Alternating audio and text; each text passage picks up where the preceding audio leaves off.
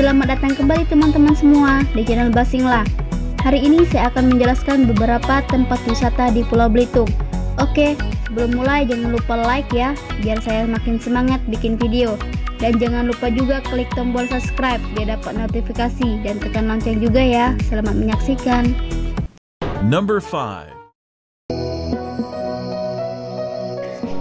Pantai Tanjung Tinggi ini merupakan destinasi yang sangat populer, terutama setelah peluncuran film Laskar Pelangi.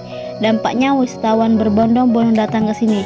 Perpaduan hamparan pasir putih, batu granit, serta air laut yang tenang menciptakan panorama pantai dengan keindahan sempurna.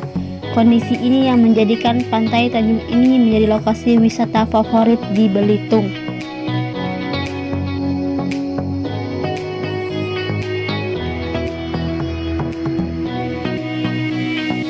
Number 4. Bagi teman-teman yang masih penasaran dengan daftar wisata Belitung, teman-teman juga bisa mencoba mengunjungi destinasi Pulau Pasir. Menariknya dari Pulau Pasir ini terlihat dari fenomena unik yang mana air yang surut hingga terdapat pulau kecil di tengah laut.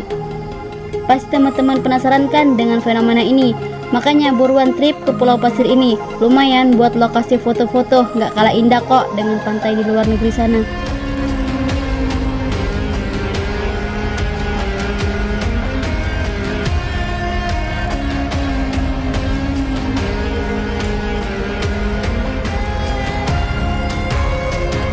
Number 3. Tanjung Pelayang merupakan tempat yang baik untuk berenang karena permukaan dasar pantai jernih dan berpasir putih.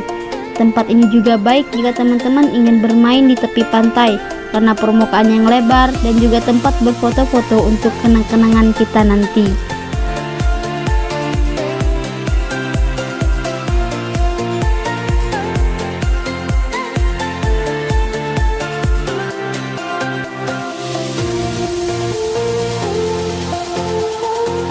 Number 2. Selain menghadirkan sajian wisata Belitung berupa pantai, setiap pengunjung bisa menikmati indahnya suasana di Bukit Pangkuan. Menariknya destinasi satu ini tergolong agrowisata, sehingga setiap pengunjung akan diajak lebih dekat dengan kawasan agrowisata. Sedangkan dari sisi aktivitas wisata ini terbilang beragam, mulai dari menikmati sajian buah hingga aktivitas flying fox, motor ATV, dan berenang di kolam biru.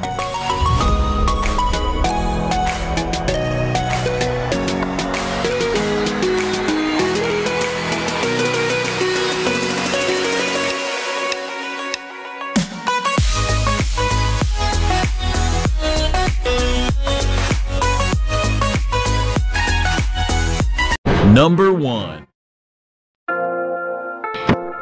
Salah satu tempat menarik dengan tema pantai, Pulau Lengkuas juga menghadirkan beragam pilihan maksimal, tidak hanya dari sekedar keindahan pantainya saja. Pengunjung juga bisa menikmati beragam pilihan menarik untuk sebuah objek wisata bertema alam. Pulau Lengkuas ini memiliki daya tarik tersendiri karena memiliki merkuar setinggi 50 meter yang bisa dinaiki sampai atas loh. Betapa indahnya kan menikmati keindahan dari ketinggian 50 meter dan juga keindahan bebatuan granit makin terasa menyatu dengan alam.